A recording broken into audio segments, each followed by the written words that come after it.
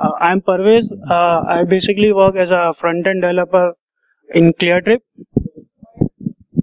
Can you hear me? So, uh, front-end developer with Sunit Singh only in ClearTrip, and uh, I'm just trying to learn like design under Sunit on itself.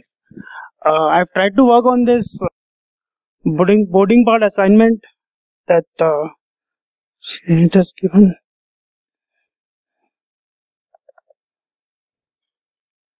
So I started with this version basically uh, just wanted to like give the most important information for the primary traveler also and the secondary traveler also.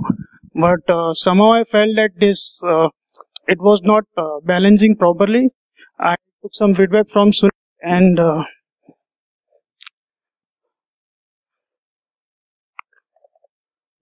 so this is the first revision that we came up uh, basically if you see uh, this option should work without the seat map also.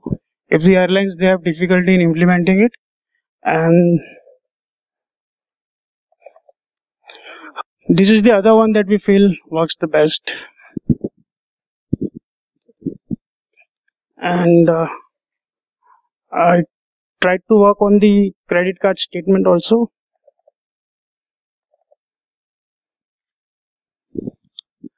uh, I just feel like this is the most important information from a user's point of view. He basically wants to see the total outstanding amount, the minimum amount due, and the due date. And we've tried to like uh, break the transactions into like uh, so if you see there's a, a red which shows like the late fees that you have to pay.